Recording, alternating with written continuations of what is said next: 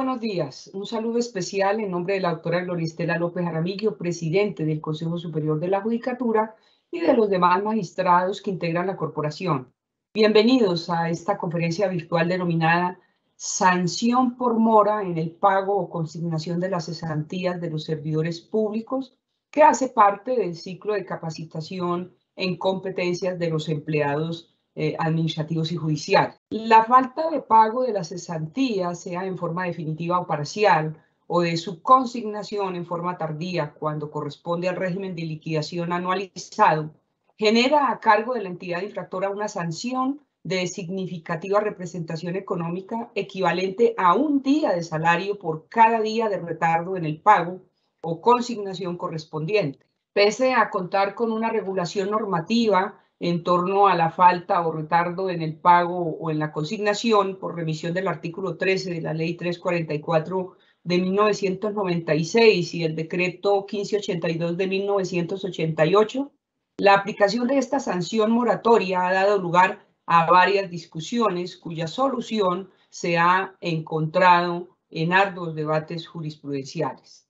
La conferencia de hoy tiene como propósito abordar el tema de la sanción por mora en el pago o consignación de las cesantías de los servidores públicos para conocer las normas que lo regulan y su interpretación en el tiempo, tanto para la entidad por la afectación negativa que puede representar en su patrimonio, para los funcionarios administrativos y pagadores por la responsabilidad fiscal o disciplinaria que le puede acarrear el desconocimiento del asunto y para los empleados públicos acreedores de las cesantías. En esta oportunidad tenemos el gusto de contar con el doctor Eduardo Javier Torralbo Negrete, abogado, especialista en Derecho Contencioso Administrativo, Derecho Laboral, Derecho Constitucional, Contratación Estatal y Relaciones Industriales. El doctor Torralbo ha sido juez administrativo de Montería magistrado de los tribunales administrativos de Bolívar, Caquetá y Sucre, y actualmente se desempeña como magistrado del Tribunal Administrativo de Córdoba. Eh, doctor Torralbo Negrete, es un gusto tenerlo con nosotros. Bienvenido, tiene el uso de la palabra. Buenos días. Desde la calurosa Montería, un saludo cordial a la doctora María Lucero Novero, Novoa, presidente, directora de nuestra Escuela Judicial Rodrigo Lara Bonilla extensivo a la doctora Gloria Estela López Jaramillo, presidente del Consejo Superior de la Judicatura. Por supuesto, un saludo a todas las personas que a esta hora nos acompañan virtualmente para el desarrollo de esta charla, de esta encomienda tan bonita de la escuela para compartir conocimientos y aprendizajes obtenidos a lo largo del camino. El tema de hoy es relativo a sanción por mora en el pago o falta de consignación de las cesantías a los servidores públicos.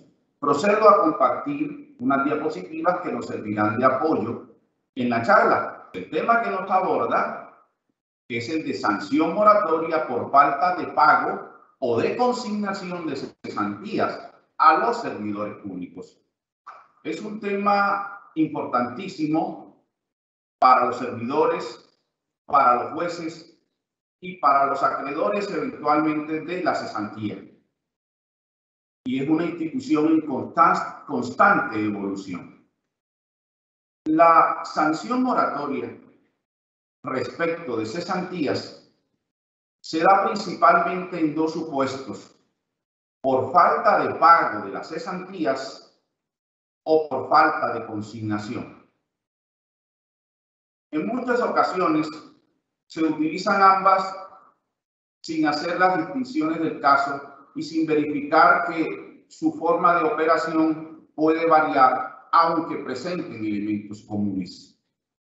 Entonces, pasaremos primero a abordar la sanción moratoria por falta de pago, explicando su alcance, su forma de causación y todos los elementos propios de ella sanción moratoria por falta de pago de cesantías definitivas o parciales.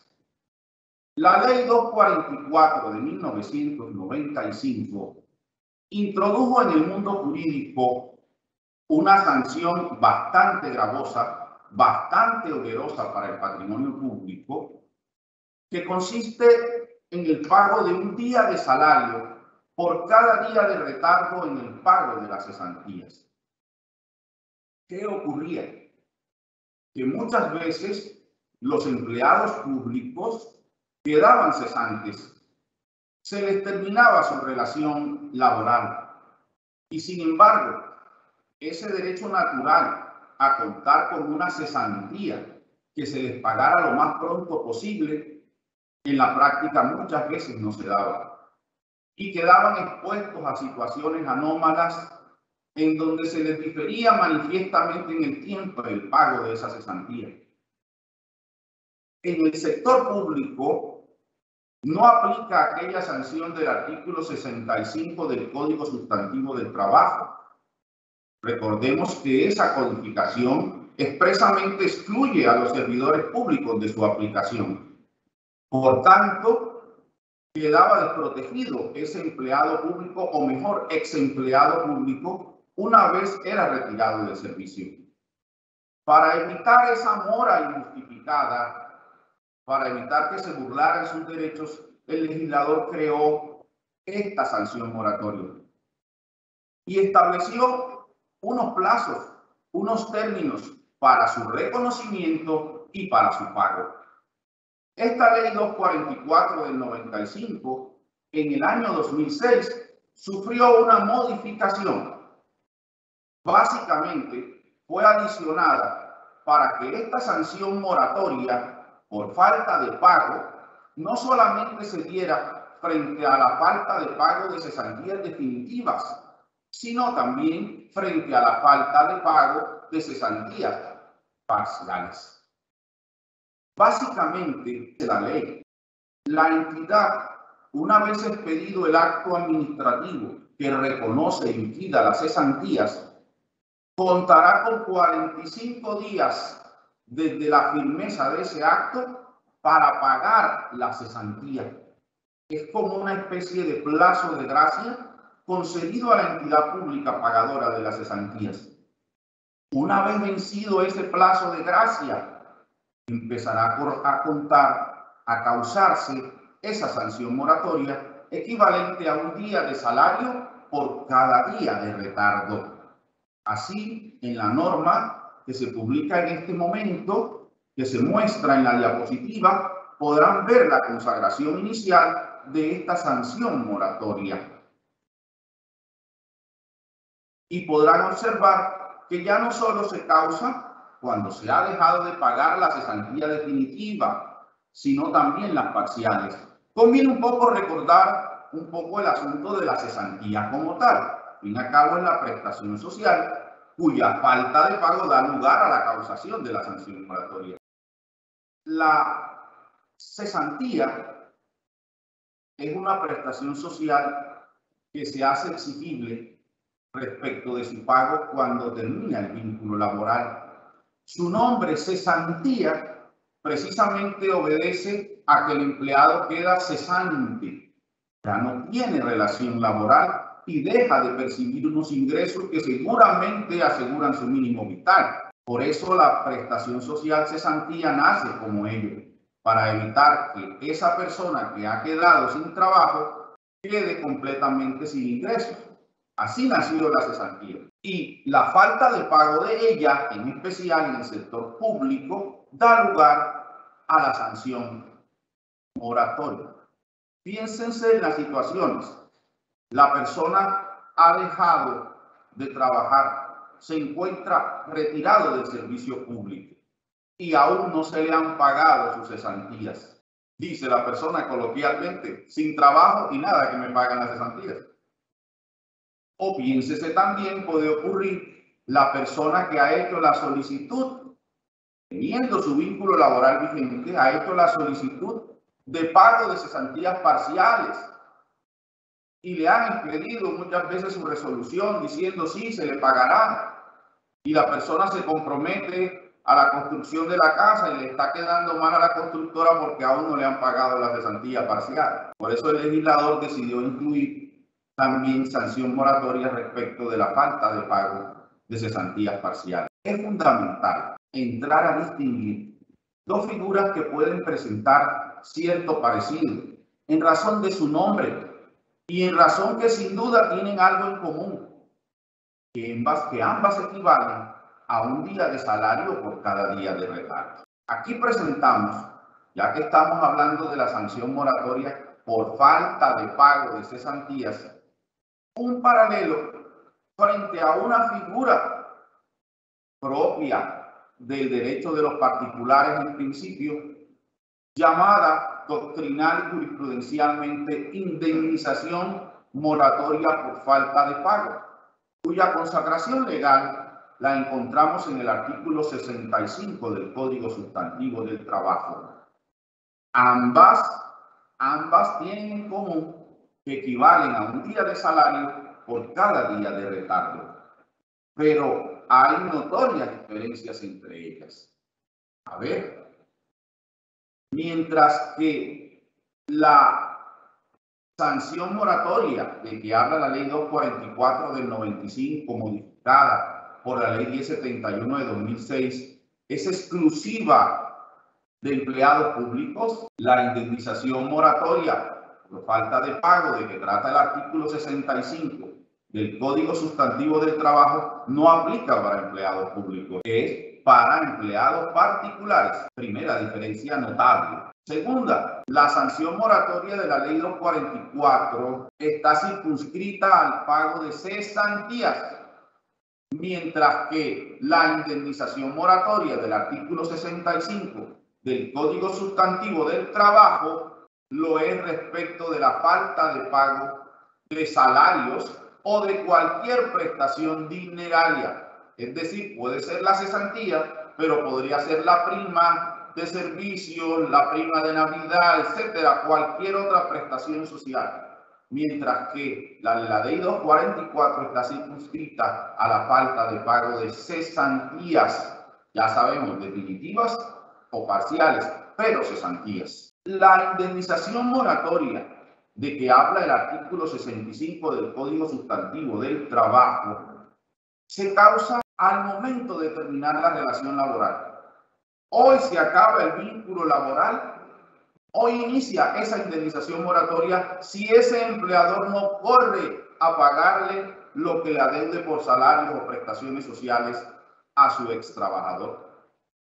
Mientras que la sanción de la ley 244 del 95, punto de gran atención de esta charla, se causa en principio pasados 45 días desde la firmeza del acto administrativo que la reconoce y liquida. Y decimos en principio, pues partimos de la base de que ese acto administrativo sea expedido dentro de los términos legales. Pues si ello así no ocurre, ya la jurisprudencia, como veremos más adelante, nos advierte que esa sanción moratoria empezará a contarse pasados 70 días desde, la, desde el reclamo de las cesantías por parte del ex trabajador. La causación de la sanción moratoria por falta de pago de cesantías implica que el ex trabajador reclame la cesantía mientras que la indemnización moratoria del artículo 65 del Código Sustantivo del Trabajo no requiere en realidad ese reclamo para poder iniciar su causación. Terminada la relación laboral, empieza a correr esa indemnización moratoria. Y una última diferencia, podemos hacerla notar en que esa indemnización moratoria por falta de pago el varias veces inventado artículo 65 del Código Sustantivo del Trabajo, hoy en día tiene una limitación en el tiempo que va hasta 24 meses contados desde la terminación del vínculo laboral. Mientras que nuestra sanción moratoria por falta de pago de cesantías se extiende hasta el pago efectivo de la cesantía y seguirá causándose hasta el pago efectivo de la cesantía. Entonces sí, tienen aspectos en común. Seguramente al legislador especial de la ley 244 del 95 lo inspiró la existencia de aquella indemnización moratoria del artículo 65 del Código Sustantivo del Trabajo y el vacío que a ese respecto existía en el sector público, pero veamos que son instituciones perfectamente diferenciadas como acabamos de ponerlo de presente. Entonces, concentrados en la nuestra, en la sanción moratoria por falta de pago de cesantías definitivas o parciales, pasamos a ver ahora con mayor detalle la efectividad de su causación.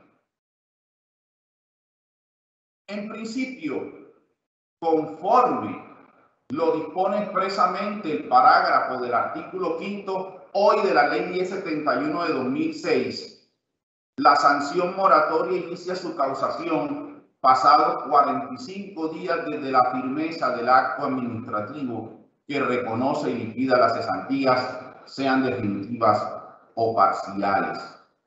Así era todo en principio muy sencillo. El análisis de la norma parece dejar todo claro y efectivamente así lo era.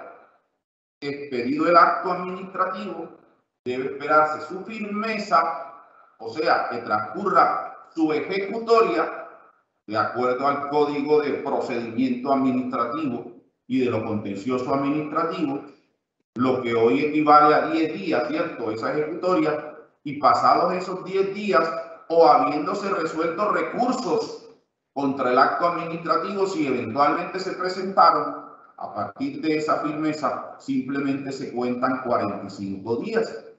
Pasados esos, esos 45 días, o sea, el día 46, inicia la causación de la sanción moratoria.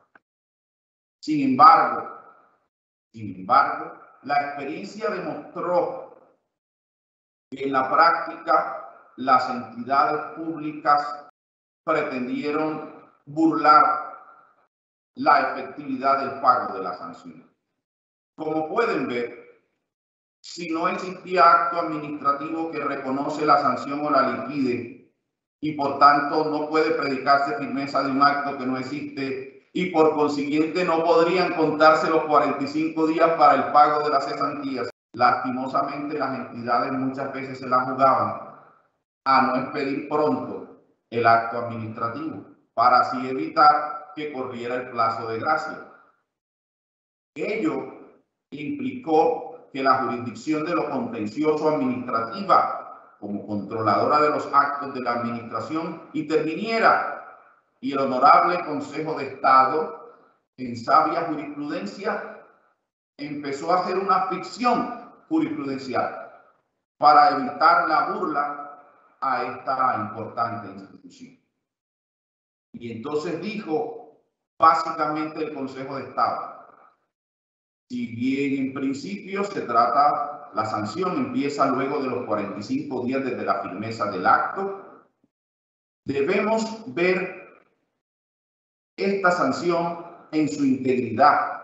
No solamente esto basta para esto, la lectura aislada del parágrafo del hoy artículo quinto de la ley 1071 de 2006, sino que debe tenerse en cuenta que hay una serie de términos dispuestos en la misma ley de, que, que van desde, o que comprenden desde el reconocimiento de la sanción.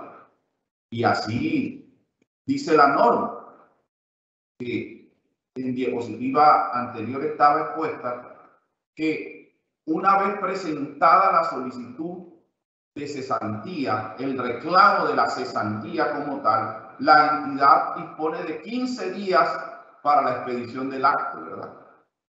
Luego entonces, si la entidad dentro de esos 15 días para la expedición del acto no expide el acto administrativo de reconocimiento y liquidación de las cesantías, su omisión no la va a favorecer. Y entonces, inspirados en aquel principio general del derecho de que nadie debe beneficiarse de su propia mala fe, de su propia incuria, entonces el Consejo de Estado dijo, desde el momento en que la persona presenta la reclamación de la cesantía, se contarán 70 días. De modo que al día 71 empezará a correr la sanción moratoria equivalente a un día de salario por cada día de retardo de la que venimos hablando. ¿Y de dónde salen esos 70 días? De hacer la siguiente ficción. 15 días para resolver la petición. Entonces, en esos 15 días debe haber expedido el acto administrativo de reconocimiento y liquidación de cesantía, el cual sabemos que no lo ha hecho precisamente en ese término, pero ha debido hacerlo en esos 15 días. Más 10 días que correrían como ejecutoria del acto administrativo, eh, ubicado dentro de la regulación actual de nuestro código de procedimiento administrativo y de lo contencioso administrativo que contempla, que contempla un término de ejecutoria de 10 días, ¿no? Seguramente en un caso en donde estuviéramos frente a un acto administrativo expedido en vigencia del antiguo código, del Código Contencioso Administrativo, decreto 01 del 84, contáramos simplemente 5 días. Pero entonces tenemos 15 días para la petición, 10 días para la ejecutoria, los 45 días de que habla el parágrafo, contados desde la firmeza del acto, eso da el total de 70 días. Esta posición ha sido reiterada por el Consejo de Estado por allá desde el año 2007 y hoy en día hace parte de posición unificada por parte de la alta corporación. Es más, en el cuadro siguiente, y los invito para el efecto a que se acerquen a la revisión de la sentencia de 18 de julio de 2018, una sentencia de unificación jurisprudencial expedida por la sección segunda, la famosa 012 de 2018, en donde incluso el Consejo de Estado trata de hacer un cuadro general frente a todas las diferentes situaciones que pueden presentarse para contabilizar la sanción moratoria.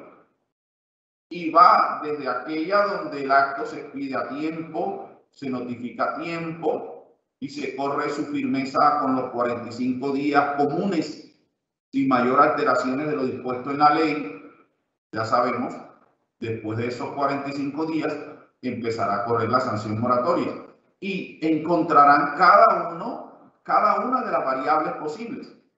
Se presentó la petición, no se pidió el acto a tiempo. Se presentó la petición, se dice haber expedido el acto a tiempo, pero no se notificó a tiempo igual se presentó la petición y nunca se ha pedido acto. Todas esas situaciones en términos generales son resueltas con la premisa general, genérica que dice, si el acto administrativo fue expedido en oportunidad, corren los 45 días desde su firmeza como plazo de gracia.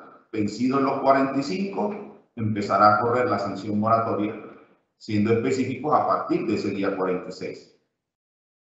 Si el acto es expedido de manera extemporánea, entonces nos ubicamos principalmente en el momento en que la persona hizo su petición de reclamo de cesantías y de ahí contaremos los 70 días explicados, 15 para la expedición del acto, 10 de la ejecutoria del acto y 45 días dispuestos en la ley como plazo de gracia para Hemos dicho desde el principio que hay sanción moratoria por falta de pago de las cesantías definitivas y parciales, pero que existe otra sanción moratoria respecto de cesantías, pero en este caso en un supuesto diferente, falta de consignación de la cesantía anualizada.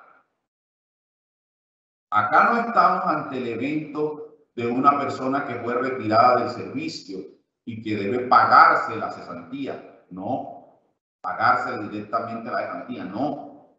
Tampoco estamos en este caso en el evento de una persona que en vigencia de su relación laboral pretende que se le paguen cesantías parciales lo que en realidad es un abono a la cuenta de su liquidación definitiva. Ustedes saben que la ley prevé unos casos para que se adelante, para que se le haga un abono a la cesantía que tiene causada la persona aún en vigencia del vínculo laboral, como por ejemplo para construcción de vivienda o remodelación de vivienda, o para estudios. La ley establece las causales para que haya lugar al pago de cesantías parciales. No, tampoco es por falta de pago de las cesantías parciales. Ahora estamos en el supuesto de sanción moratoria por falta de consignación de la cesantía anualizada.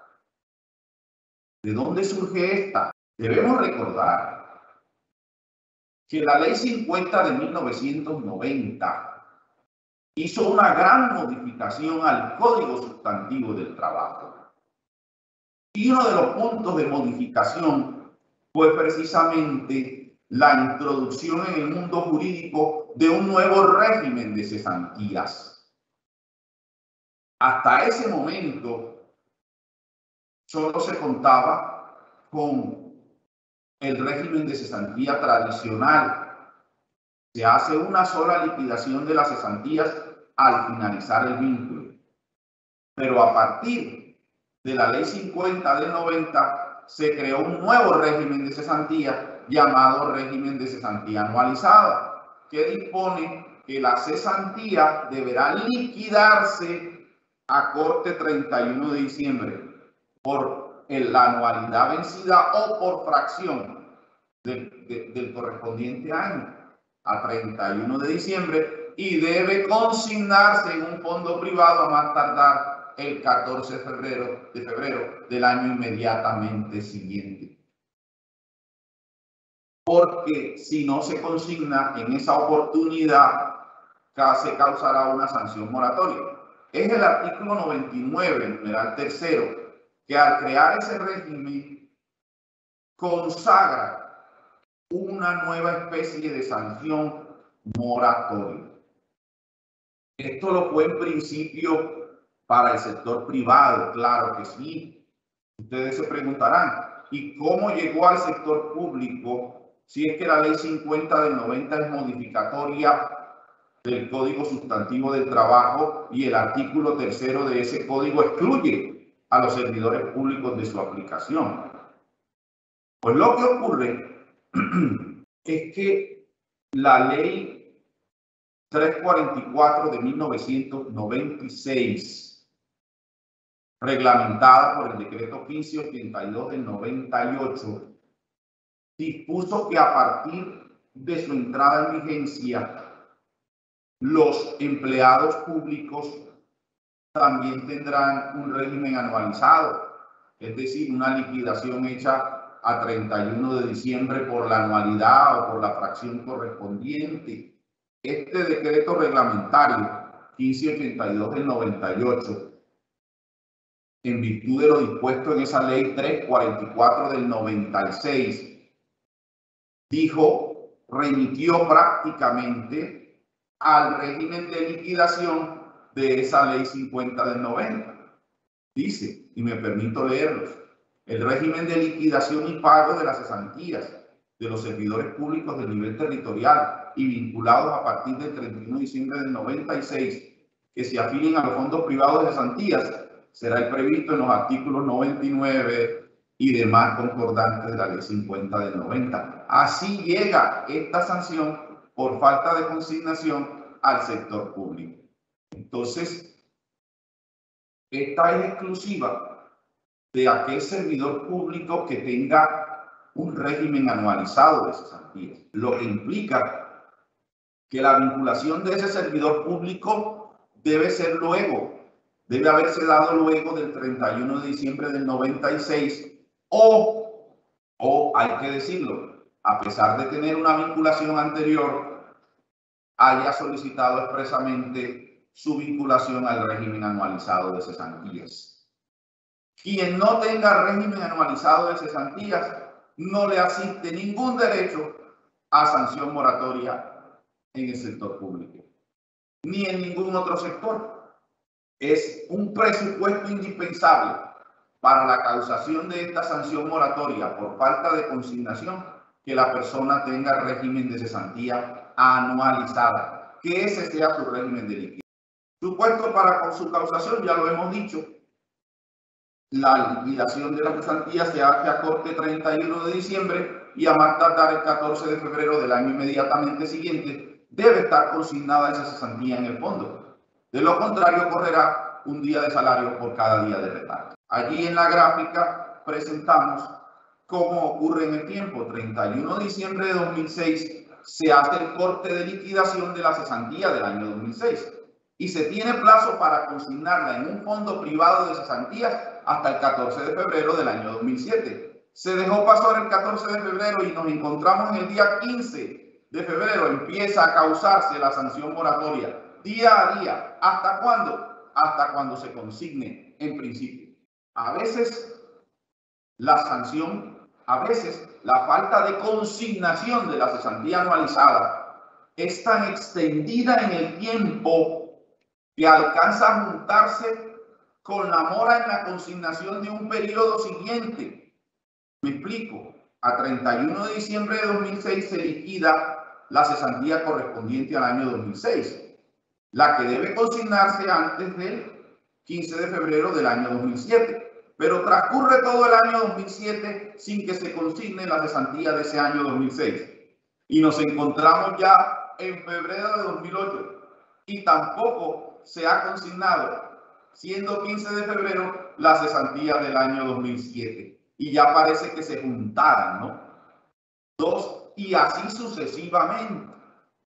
Ante este inconveniente, cuya solución no está a primera mano en la ley, por cuanto la ley dice, hasta que se consigne, y entonces una de las primeras interpretaciones es, ah, bueno, correrán varias sanciones moratorias respecto de cada año en mora y cada una irá por su carril hasta que efectivamente se consigne la cesantía correspondiente al año respectivo. Esa fue la posición inicial, pero la posición actual, y que ya la encontramos reiterada en la jurisprudencia, es advertir que aunque se presente esa sanción casi montándose sobre la otra, no debemos olvidar que al fin y al cabo es una cesantía la que se debe y entonces debe verse como una sola sanción moratoria, independientemente de que cuando cambie, el año cambiemos el salario a tomar en cuenta para liquidarla, ¿no? Pero verla como una sola sanción moratoria y no como varias corriendo al tiempo. Eso, esa interpretación tiene mucho de cuidado al patrimonio público mucho de criterio consecuencialista, pero la ha hecho el Honorable Consejo de Estado, pretendiendo que la institución no siga siendo tan onerosa o desproporcionada para el patrimonio público. Es la posición actual, allí le cito algunas sentencias, incluso en esa sentencia de 25 de agosto, que es una sentencia de unificación jurisprudencial, esta 004, eh, que se toca el tema y, se advierte de que no deben verse como unas sanciones que corren paralelas cada una por su vía, sino que a manera de testimonio, la que llega este 15 de febrero la recoge la siguiente y así se va causando una sola sanción moratoria, aunque sea para periodos sucesivos. ¿Cuál es el límite máximo de la causación en el tiempo de la sanción por falta de consignación? Pues el límite máximo es el retiro del servicio. Recuerdan que en principio decimos que esta sanción por falta de consignación se causa hasta que se consigne. Sí, así es. Pero si se produce el retiro del servicio, si llega a su fin el vínculo laboral, la obligación cambia. Porque ya la obligación no es consignar en el fondo, sino que la obligación es pagar el saldo que haya, pagárselo directamente al trabajador. Entonces, si ya no hay obligación de consignar, no se podría decir que puede causarse una sanción por falta de consignación. Y en ese momento es un punto máximo de causación, porque cambia la obligación. Fíjense que en ese momento se deja de causar la sanción por falta de consignación, pero como hemos visto, aún no se está causando la sanción por falta de mora de modo de que no concurren en el tiempo exactamente las dos. Habría que esperar que la persona haga el reclamo de las cesantías y se produzcan los plazos legales y jurisprudenciales ya vistos en, en diapositiva anterior. Vamos a ver ahora algunos aspectos comunes para ambas sanciones moratorias frente a cesantías. Vean que la ley habla un día de salario por cada día de retardo, pero no nos dijo cómo se especificaba ese salario.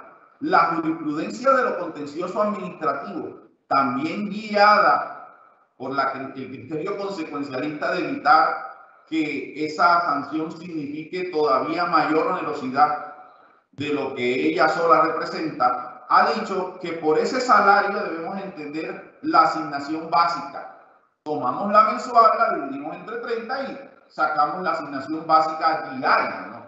Es decir, aquí no vamos a incluir otros factores que puedan considerarse salario, no, sino aquella que expresamente le viene al trabajador llamada asignación básica, ese núcleo esencial, no los otros elementos que ustedes saben que si se reciben periódicamente y que van destinados también a retribuir el trabajo, son salarios, no, aquí la jurisprudencia ha dicho no entran esos otros factores.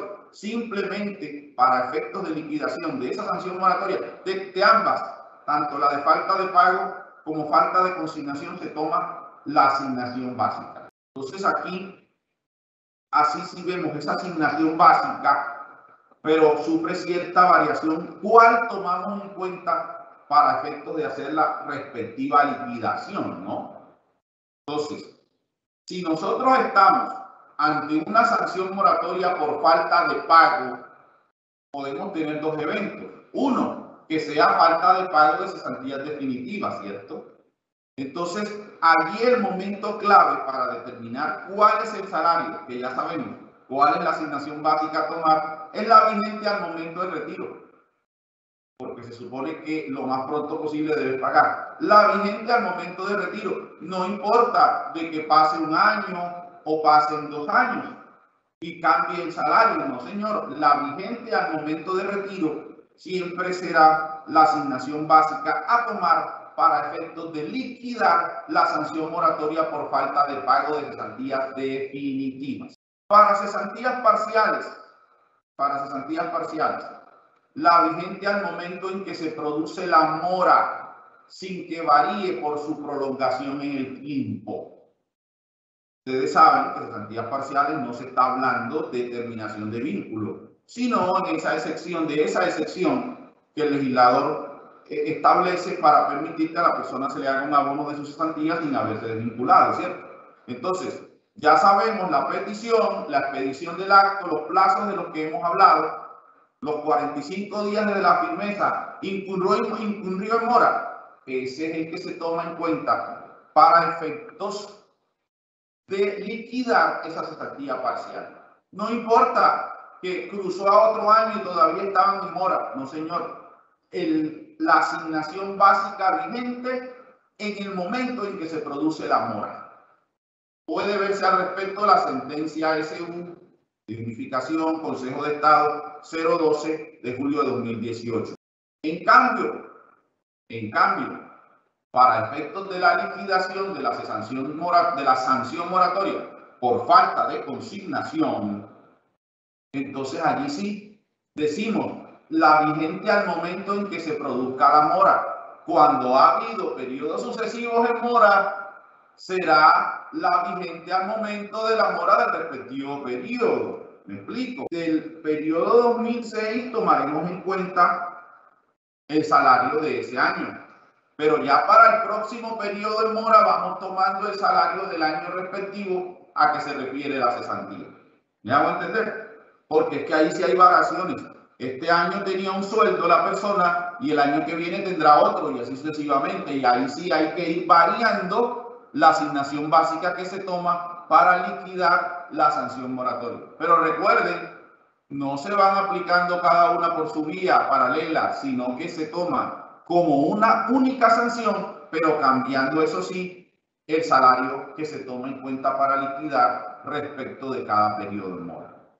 Una pregunta eh, muy común en esta materia.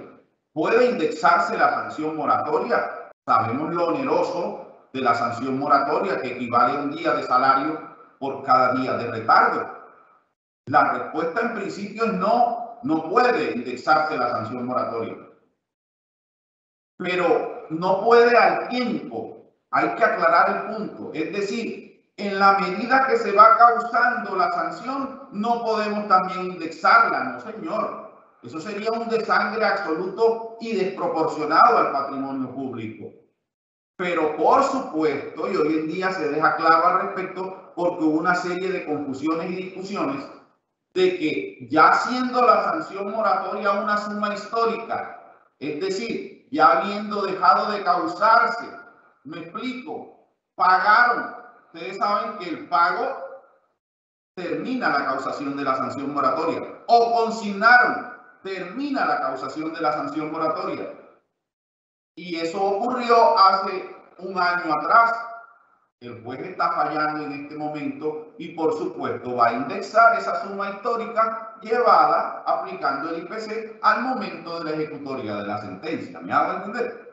La actualización común y corriente que se hace respecto de una suma histórica a la que se condena una, una suma, una, una prestación que no se sigue causando en el tiempo, sino que ya dejó de causarse, que se observa simplemente como una suma histórica como tal, claro que es posible su indexación aplicando la fórmula de IPC conocida en el contencioso administrativo. Casos curiosos. A veces ocurre que se hace un abono a la deuda de la cesantía. Se le pagó el 70% de lo que se le debía por cesantía a tiempo pero el otro 30 quedó embolatado y, y han pasado los meses sin que se pague. Entonces surge la discusión. Perdí, no hay lugar a sanción moratoria porque me hizo un pago, pero no me lo hizo completo, dice el demandante, dice el interesado, trabajador, ex trabajador. Y la entidad dice, no, yo sí le pagué, ya yo no estoy en sanción moratoria. La solución jurisprudencial se dice, acudamos a la equidad, a la proporcionalidad en las cosas. ¿Cómo liquidaríamos esa sanción moratoria? Ah, sí, tomemos en cuenta cuánto significó el abono porcentualmente, el abono a la cesantía. Le aboné el 70%, ok. ¿Cuánto le adeuda? El 30%. Entonces, la asignación básica para efectos de liquidar los días de mora la vamos a, la vamos a determinar partiendo de un 30% del respectivo salario, de la respectiva asignación básica. Al respecto puede verse, entre otras, la sentencia de 3 de abril de 2013 de componencia del doctor Hernán Andrade Rincón. Eh, dentro del marco de una reparación directa, lo que suena extraño, pero enseguida veremos que no lo era tanto en aquellas épocas. Prescripción, un tema también que ha resultado bastante controversial respecto de ambas especies de sanción moral. Hoy se acepta que, por supuesto, la sanción moratoria prescribe. Hoy se acepta que tiene un término de prescripción autónomo respecto de la cesantía. Una cosa es la prescripción de la cesantía y otra la de la sanción moratoria, aunque tengan alguna relación. Se acepta sin discusiones que el término de prescripción es de tres años desde su exigibilidad y también se ha decantado que la norma aplicable para determinar esa prescripción es el artículo 151 del Código Procesal del Trabajo y de la Seguridad Social. ¿Por qué no otro? ¿Por qué no nos podemos remitir, como lo hacemos tradicionalmente, al decreto 31-35 del 68 y sus reglamentarios? Porque ellos son específicos para las prestaciones allí referidas. Una razón. Y segundo, es que la sanción moratoria para esas épocas no existía, mientras que este artículo 151 del Código Procesal del Trabajo y de la Seguridad Social establece en general que frente a derechos laborales aplica una prescripción de tres años desde su exigibilidad. Esos puntos están claros, pero en cuanto a la manera como se aplica el término de prescripción de la sanción como lo entendemos, sí han surgido dos grandes posiciones, una que va quedando atrás en el tiempo y otra que se impone. La primera de estas posiciones observaba el asunto de la siguiente manera. Como la sanción moratoria se causa día a día y mientras no se pague o mientras no se efectúe la consignación, se sigue causando en el tiempo, su prescripción entonces también debe operar día a día transcurrido tres años, de modo que pueda prescribir de manera parcial o por porciones, no necesariamente toda la cesantía, sino lo causado tres años antes, a manera haciendo una semejanza con una prestación periódica. Y la segunda posición, que dice que desde el primer momento de su causación debe contarse el término de prescripción. De tal modo que si transcurren esos tres años sin que haya, sin que se haya hecho reclamo, prescribe en su totalidad la cesantía. Veamos las dos posiciones, veamos. Esta posición, la de la posibilidad de prescripción parcial, la posibilidad de que prescriban porciones de la cesantía, tomando en cuenta, como tradicionalmente muchas veces se hace, el reclamo de la sanción se hizo en este momento, contamos tres años hacia atrás, en, una, un asunto práctico, en realidad, eh, diciéndolo de la mejor manera, en realidad las cosas primero se causan y luego prescriben, ¿no? Eh, eh, se habla de posibilidad de que hayan prescrito porciones de cesantías y se dejaron pasar más de tres años desde el inicio de su causación. Fíjense que, por ejemplo, vencieron los 45 días de la firmeza, el día 46 es el primer día de sanción moratoria, ¿no? Causado ese día, tres años después, vencería ese primer día de sanción. El día 47 vencería tres años después y así sucesivamente. Vean cómo dice una sentencia que también es de unificación de 25 de agosto de 2006 así como la reclamación de la sanción se radicó el 28 de octubre de 2010, se deben declarar prescritas las porciones de santía causadas con tres años de anterioridad, es decir, las generadas antes del 28 de octubre de 2007. Y con anterioridad pueden encontrar en la jurisprudencia posición reiterada de esta posición. Pero, pero, y hay que estar muy pendientes de ello, esa posición hoy en día puede decirse que ha cambiado. La posición más reciente ya reiterada es la que sostiene que simplemente si transcurren los tres años desde el inicio de la causación de la sanción moratoria, ella proscribe totalmente. Y ya se citan sentencias aplicables para ambas sanciones moratorias, tanto para falta de pago como para falta de consignación. Sentencias, miren, de, 27, de 23 de septiembre de 2000 9 de una de las secciones de la sección segunda y de 28 de enero de este 2021 en otra de las secciones de la sección segunda que ustedes saben se encargan con especialidad de lo laboral en el Consejo de Estado.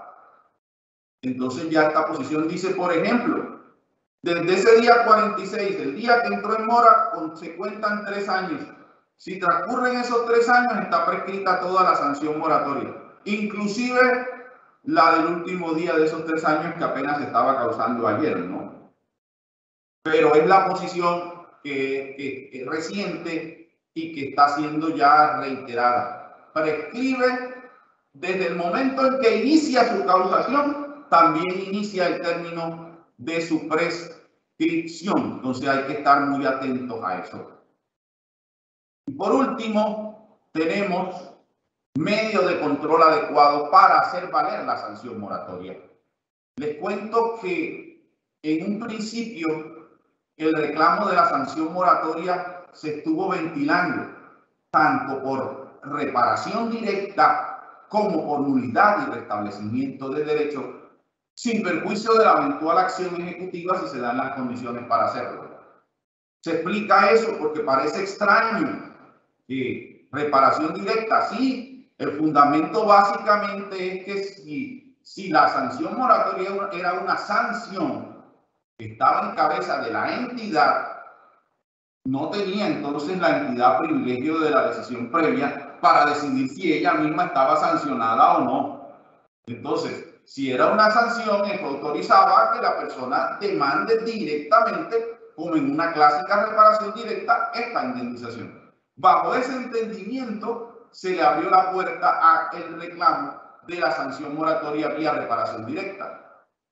Pero también había quienes tradicionalmente presentaban su petición de reclamo de sanción moratoria porque consideraba que se presentaban los supuestos, la administración dictaba el acto administrativo negándole la sanción moratoria y entonces la persona se iba en nulidad y restablecimiento del derecho.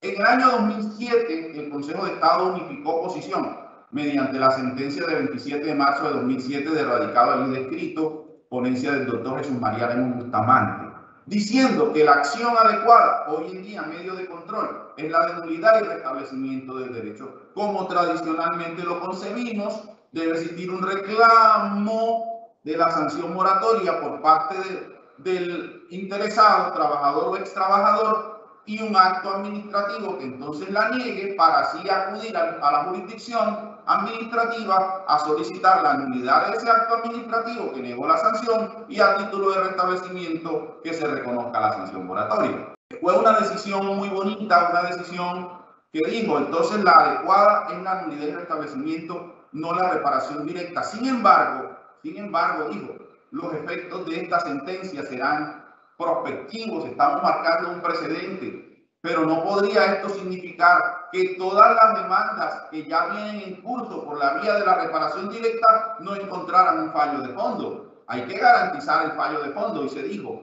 esta posición de que definitivamente es la nulidad y restablecimiento del derecho y no la reparación directa, la vía adecuada, solo aplica para las demandas que se presenten de ahora en adelante las que ya vienen en curso, sea por reparación directa o sea por nulidad y restablecimiento, encontrarán solución de fondo. Y así se resolvió. Eh, también es posible la vía ejecutiva laboral si se dan las condiciones de un título ejecutivo para ejecutarla.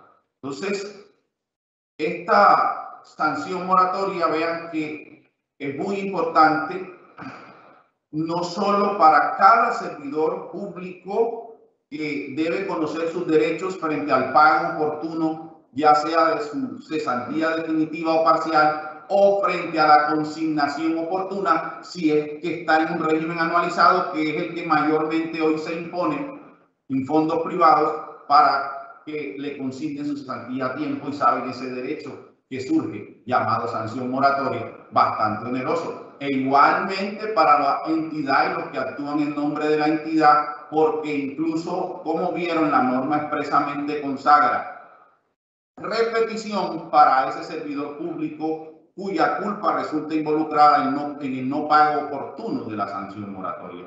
Y para los jueces y el ejercicio de la función jurisdiccional, indudablemente es una institución esta de la sanción moratoria que cada día debemos aprender en mayor medida porque es una institución ya autónoma casi, aunque tenga relación con la cesantía cuya falta de pago o consignación da lugar. Entonces, hemos querido solo despertar la chispa, mostrar lo importante de la figura, su evolución a través del tiempo, lo controversial que han resultado muchos de sus aspectos. Entonces, a todos muchas gracias por compartir esta oportunidad para hablar de la sanción moratoria. En este momento dejaré de compartir. Así de esta manera hemos presentado el asunto. Cedo la palabra a la doctora Mónica para recibir comentarios, preguntas al respecto del tema expuesto. Muchas gracias, doctor Torralbo. Muchas gracias. Vamos al fragmento de preguntas. Y la primera, doctor eh, Eduardo Javier, ¿puede indexarse la sanción moratoria? Doctora Mari, muy interesante la pregunta. El asunto de la posibilidad de indexación de la sanción moratoria siempre ha sido un tema controversial. Eh, en principio se dice con claridad, no puede indexarse en concurrencia al tiempo. Me explico. La sanción moratoria que se, que se está causando no puede sobre ella al mismo tiempo aplicarse ningún tipo de indexación. Ella por sí sola es lo suficientemente inerosa y compensaría cualquier depreciación económica, de modo que no debe al tiempo, y es lo que la jurisprudencia ya al unísono ha considerado indexarse, pero se aclara una vez la sanción moratoria ha dejado de causarse y por ello se convierte en una suma histórica, por supuesto, como cualquier suma histórica condenada, puede aplicarse en el IPC desde que dejó de causarse hasta la ejecutoria de la sentencia, siguiendo las normas procesales de nuestro Código de Procedimiento Administrativo y de lo contencioso administrativo. Muy bien, doctor Torralbo. De acuerdo con los últimos pronunciamientos jurisprudenciales, ¿cómo se contabiliza el término de prescripción de la sanción moratoria? Los últimos pronunciamientos jurisprudenciales han llegado a concluir o van mostrando ese camino de que la prescripción de la sanción moratoria o el término de prescripción de la sanción moratoria arranca desde el mismo momento en que ella empieza a causarse. Me explico.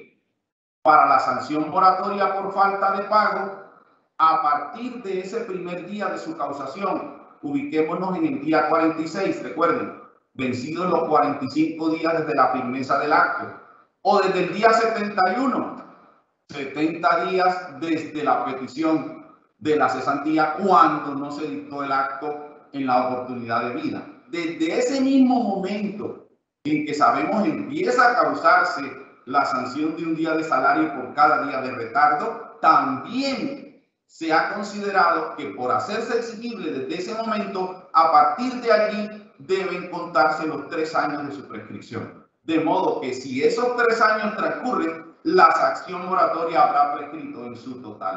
La última pregunta, doctor eh, Eduardo Javier. ¿Cuál es la vía procesal adecuada para hacer valer judicialmente la sanción moratoria? Hoy en día, ya habiéndose decantado aquella discusión de que si estaba habilitada la reparación directa para el efecto, que si lo era la nulidad y restablecimiento del derecho, se concluye sin discusión alguna que la vía habilitada es la nulidad y el restablecimiento del derecho. Ese medio de control, en donde la persona, luego de haber reclamado la sanción moratoria, se encuentra con una negativa de la entidad, entonces deberá, deberá demandar ante el contencioso administrativo ese acto que le negó la sanción moratoria y a título de restablecimiento del derecho que le sea concedida tal sanción. Entonces es la nulidad y restablecimiento del derecho el medio de control que por excelencia se utilizará para hacer valer la sanción moratoria tanto por falta de pago como por falta de consignación oportuna de cesantías. Es posible también y no se puede dejar de advertir que jefa la acción ejecutiva laboral, ya no de conocimiento de los jueces administrativos, sino de los jueces laborales. En el evento, por ejemplo, de que el acto administrativo haya reconocido expresamente la sanción moratoria, pero sin embargo no haya procedido a pagarla. Por supuesto, se toma ese acto ya como título ejecutivo que es ejecutable frente a los jueces laborales. Eh, es el buen administrativo, sobre todo cuando se pretende una sanción moratoria que, como vimos, comienza a causarse en virtud de esa ficción jurisprudencial, cuando todavía no hay acto administrativo que reconoce la cesantía. Y sin embargo, se empieza a causar la sanción moratoria. Y recordemos, desde que la persona hace la solicitud, el reclamo de las cesantías, se entiende que corren 15 días si la entidad no pidió el acto, de todas maneras el término se activó. 15 días, correrán luego 10 días de su ejecutoria y luego los 45 días como plazo para pagar desde esa firmeza. El día 46 inicia la sanción moratoria. Eso lo define, por supuesto, un juez administrativo. Allí no cabría la posibilidad de la intervención del juez laboral, porque no podría el juez laboral ordenar una sanción moratoria causada antes de tener un acto administrativo de reconocimiento de la cesantía o de la respectiva sanción. Entonces, en conclusión, el término por excelencia para hacer valer la sanción moratoria es el de la nulidad, el, el medio, perdón, adecuado. Por excelencia es el de la nulidad y restablecimiento del derecho sin perjuicio de la eventual posibilidad de la acción ejecutiva ante el juez laboral. Nuestro agradecimiento especial al doctor Eduardo Javier Torralbo Negrete por su clara y ponderada explicación sobre este tema tan importante para los servidores públicos, eh, sobre la relevancia de la aplicación de la vía procesal adecuada para hacer valer judicialmente el pago de las cesantías en mora, así como la forma y momentos de su causación y extensión en el tiempo, su prescripción, la determinación del salario base para su liquidación, la posibilidad de acumulación con la indexación y la solución ante eventos de pago parcial de las cesantías. Eh, gracias también a nuestros servidores y servidoras judiciales y a todas las personas que se conectaron a esta conferencia. Mm, y a propósito del tema de hoy tan claramente expuesto por nuestro formador invitado, nos despedimos con una frase del conferencista motivacional Jaime Leal. El salario económico atrae talento, el salario emocional lo vuelve exitoso. Muchas gracias.